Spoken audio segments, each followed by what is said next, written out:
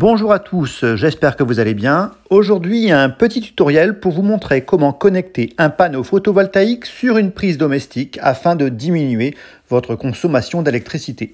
Alors, j'ai pris l'exemple d'un panneau pliable EcoFlow Nomade, mais on peut également appliquer cette technique pour tout autre panneau photovoltaïque.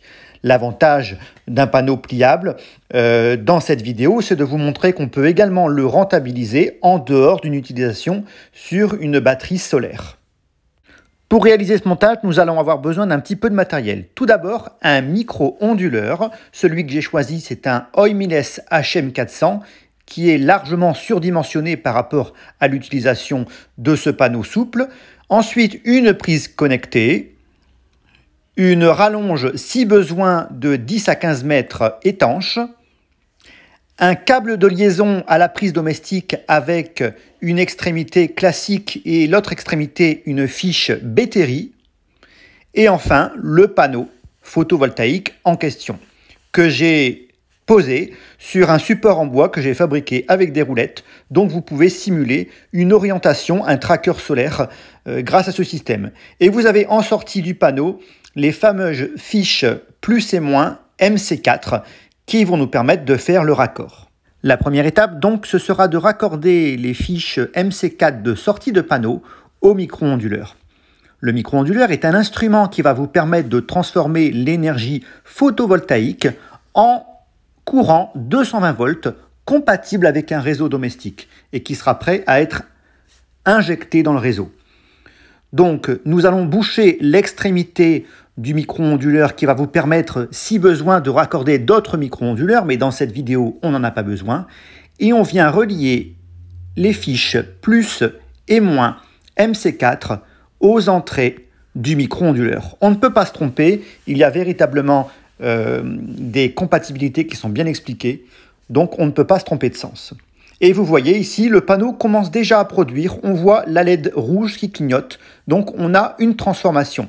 C'est rouge pour l'instant parce qu'on n'est pas en train d'injecter dans le réseau.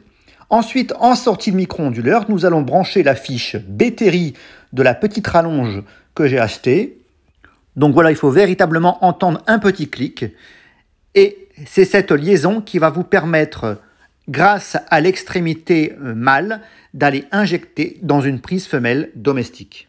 Cette petite rallonge que j'ai achetée fait 3 mètres, mais si ce n'est pas suffisant, vous pouvez tout à fait relier la prise mâle à une rallonge étanche plus ou moins longue, 10, 15, 20, 30 mètres si vous voulez, afin de déplacer votre euh, panneau photovoltaïque par rapport à l'injection de la prise domestique. Donc on peut tout à fait euh, voilà, aller relier euh, à une rallonge. Hein, avec les normes 3G 2.5, euh, avec une norme d'étanchéité compatible. voilà, donc vous pouvez utiliser une rallonge sans souci. Entre les deux, on va maintenant procéder à la mise en place de la petite prise connectée. Attention à bien choisir une prise connectée avec la fonctionnalité mesure du courant. Elle va vous fournir l'intensité, la puissance en watts ainsi que la tension en volts. Donc on l'insère. On appuie sur le petit interrupteur sur le côté. Entre deux, comme vous avez pu le voir sur mes anciennes vidéos, il va falloir faire le paramétrage sur l'application Tuya Smart Life afin de raccorder en Wi-Fi 2,4 euh, votre petite prise connectée et d'avoir la visu sur votre téléphone. Alors malheureusement le temps aujourd'hui n'est vraiment pas très clément, on a un ciel très nuageux avec de la pluie, mais je vais quand même essayer de déplacer le panneau photovoltaïque et de vous montrer qu'il y a euh, de la production. Donc on le place ici au plus près. Hein. et on va brancher la fiche mâle issue du micro-onduleur ou de la rallonge si besoin sur euh, la prise domestique. Donc là, pour l'instant, il faut un délai d'initialisation. C'est toujours rouge euh, parce qu'il faut que le micro-onduleur travaille. Et au bout d'un moment, au bout de 1 à 2 minutes, vous voyez, le micro-onduleur va clignoter en vert. Donc ça veut dire qu'il y a une production efficace avec une réinjection dans le réseau.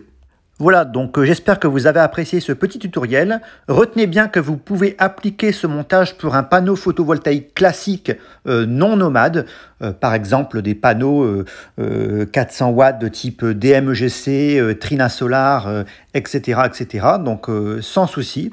Donc c'était une preuve de concept que je voulais vous montrer aujourd'hui.